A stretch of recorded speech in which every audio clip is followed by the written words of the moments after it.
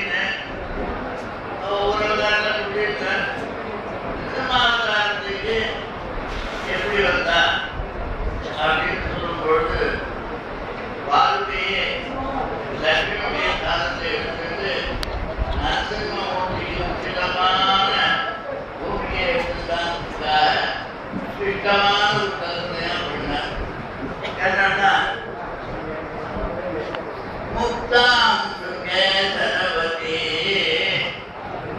பிழைமையில் இருந்தோம் அதனால இங்க எங்க பிழைமையர் பாதிரிக்கு பாதிரி என்ற சிந்தைக்கு அப்படின்னு கேட்டா